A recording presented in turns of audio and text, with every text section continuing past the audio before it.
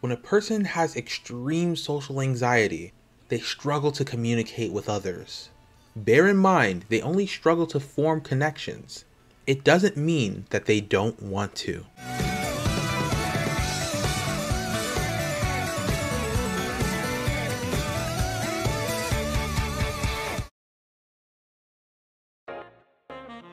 Hello and welcome to another Hot Rodster review. In this video, I will be reviewing the new popular anime series known as Komi Can't Communicate. This anime was definitely different from the ones I typically watch, and I had a great time with it. In this video, you'll get further insights into what I think about the plot, characters, and just the show overall. Without further ado, let's get into the video. This anime is about a high school girl who has social anxiety. She has it so bad that it is very difficult for her to even talk to people hence the title, Komi Can't Communicate. This anime was very interesting. I never watched a show with social anxiety being one of the main themes before, so it definitely piqued my interest right from the beginning. Although the show had a very serious theme, it is also very comedic, and that threw me off at first. The first episode was the only one that had a huge focus on the gravity of the situation Komi is in, but every other episode in this show is filled with short stories that test the limits of Komi's anxiety in a very comedic fashion. You may be thinking at this point that I didn't enjoy the comedy, but that is not true. I really did enjoy it, and a lot of these episodes made me laugh. The comedy was just a bit of a tone switch that caught me by surprise, so I wanted to talk about it.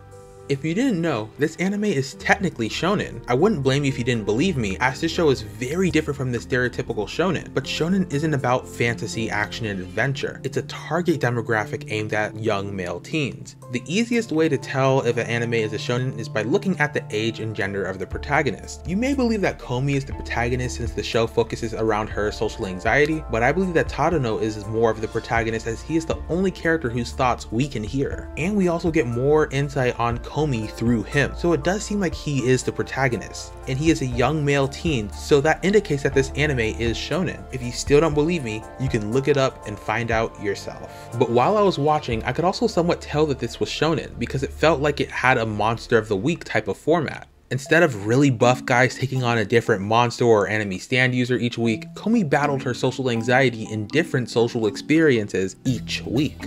Another thing I want to mention is that I really like Komi's goal of making 100 friends. I said this in a previous review, but it is very similar to Shiki's goal from Eden Zero. 決めたぞ俺は宇宙で友達100人作る頑張ってね However, I enjoyed Komi's goal more than I did Shiki's because Komi's social anxiety actually makes this a difficult goal for her to accomplish. And Komi's goal lets us know that she actually values human connection, and it makes it so much more painful knowing that it is very hard for her to acquire.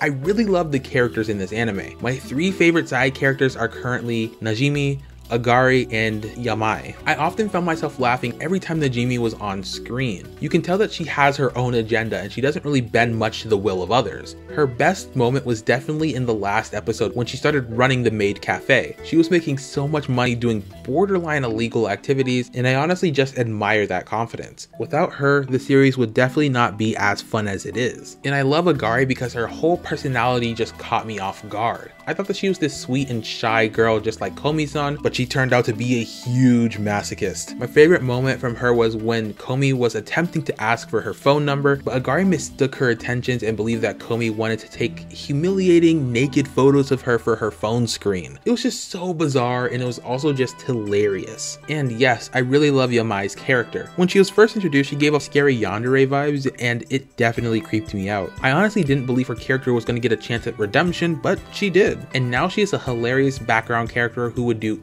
anything for Komi-san. The art and animation for this show was really great. The animation studio is called Oriental Light and Magic, or OLM for short. I've never actually heard of this studio's existence until now, but apparently they also do some animation for Pokemon. Overall, I'd say that this was a very good show. I had a fun time watching it weekly since Netflix did do a weekly release. I think I'll give it a solid 8 out of 10 because it wasn't the best thing I ever watched, but it was definitely amazing. A second season has already been confirmed to come out April of this year, so it will be part of the spring season. This show must have been very popular to have gotten renewed that quickly, and honestly, I can't wait to see how this story is gonna continue.